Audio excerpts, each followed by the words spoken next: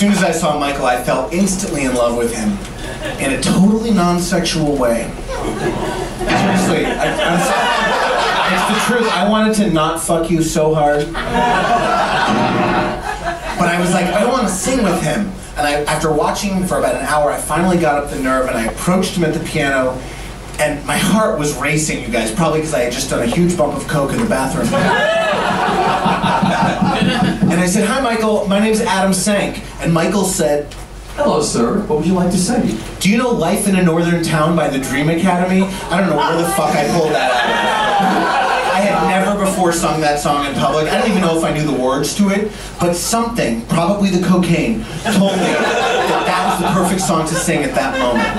And then Michael said, I don't know the song, but I think I can play it by ear.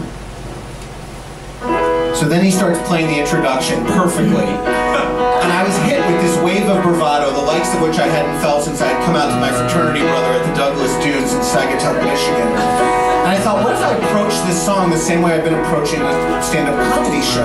And I heard myself saying, ladies and gentlemen, this is a one-hit wonder from a group you may remember called the Dream Academy. Now the words are simple, I need you to repeat after me. A hey ma ma ma ma da doo da da. Repeat.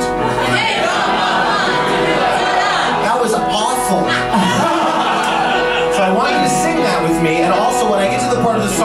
Say the Beatles, I want you to clap and scream and cheer as if I were the surviving Beatles. Okay, you ready? Ladies and gentlemen. What's your name again? Adam Sank. Ladies and gentlemen, give it to him hard. Adam Sank.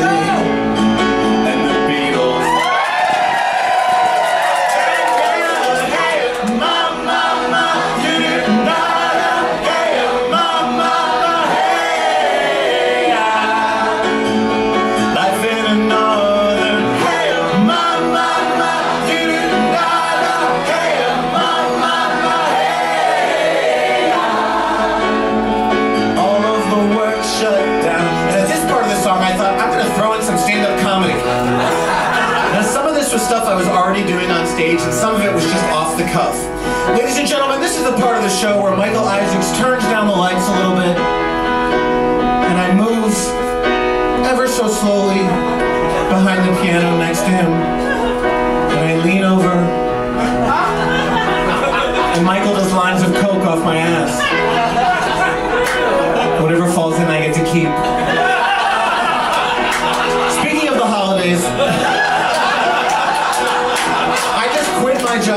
Stand-up comic.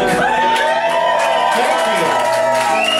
That was not my mother's reaction at all. My mother's sort of like the Jewish version of Martha Stewart, but without the warmth. So when she found this out, she said, Adam, I heard from your sister that you're gonna quit your job and become a comedian. And she said, comedian, like you might say, feces.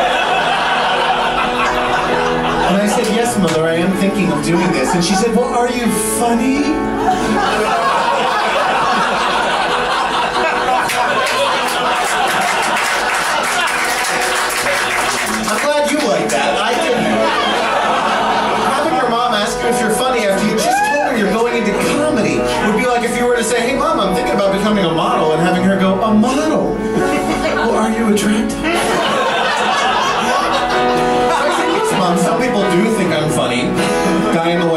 Front table, no, but some people do laugh.